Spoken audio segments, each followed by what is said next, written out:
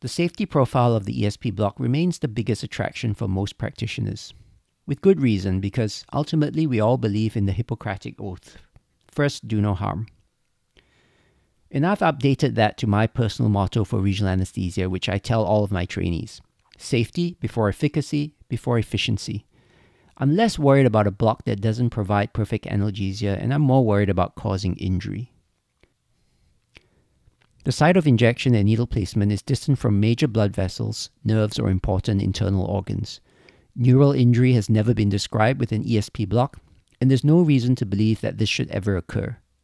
You can, in good faith, describe the ESP block as an injection into the muscles of the back rather than into the spine, and I find that patients are tremendously reassured when I tell them that we are, in fact, nowhere near their spinal cord.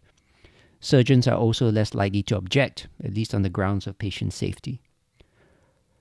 As a result, I think it's quite clear that this is a pretty safe block in patients who have coagulation abnormalities, as bleeding complications are very rare.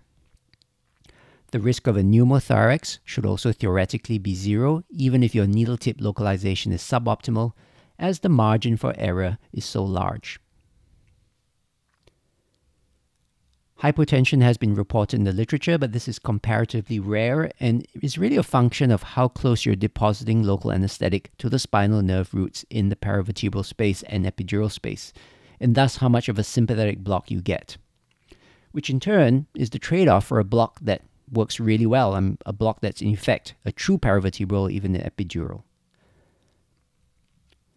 The most likely adverse effect is a local anesthetic systemic toxicity or LAST event, but this is still rare, and the severity of these events is usually minor. We now have recent studies that support the risk of plasma concentrations in the toxic range being minimal. In fact, the venous concentrations measured after a 2 mg per kilo dose of bupivacaine are several orders of magnitude below the toxic thresholds. Note that this was using a 1 in 200,000 or 5 mics per mil epinephrine containing solution of bupivacaine.